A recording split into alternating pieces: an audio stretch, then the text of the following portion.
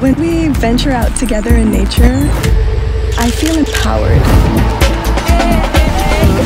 We reclaim our joy. I want to experience the outdoors together.